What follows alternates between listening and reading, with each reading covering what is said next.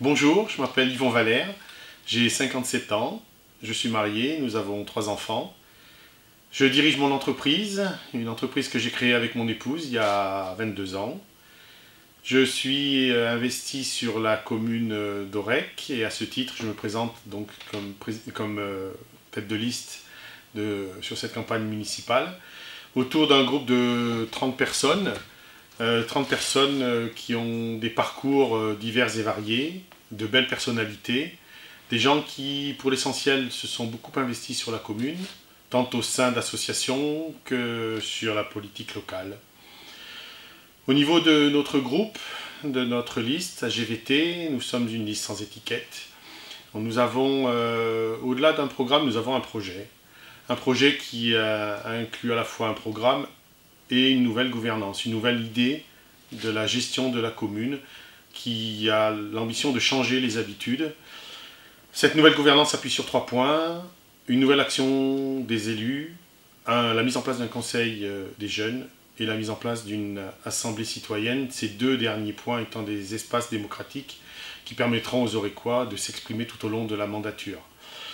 Au titre du programme, euh, c'est un ensemble de projets ou, d'idées que l'on veut développer et, déployer pendant la mandature, euh, dont les points importants, c'est la mise en place d'une police municipale, c'est aussi la volonté d'investir dans les infrastructures municipales dédiées aux associations, et puis aussi un point important, c'est la cantine, la cantine municipale dont on souhaite une production locale sur place, une cantine traditionnelle qui, conserve la qualité, une assiette de qualité. À l'occasion de des élections de dimanche prochain, le 15 mars, nous espérons vous conquérir avec ce projet qui s'appuie à la fois sur la nouvelle gouvernance et l'ensemble de ce programme. Bonjour, notre liste Ensemble pour l'avenir veut construire la cité de demain.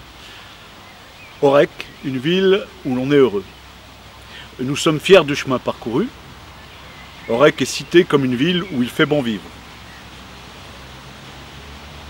Maintenir et améliorer les services de proximité.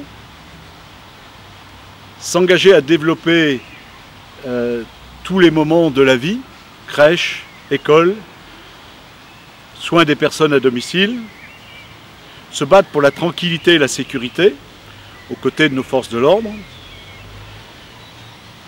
développer tout le secteur de l'environnement, mais aussi bien sûr accompagner la vie économique, aménager la MJC, centre de vie sociale, aménager le château, euh, centre historique, et ne pas oublier les équipements à la fois culturels et sportifs.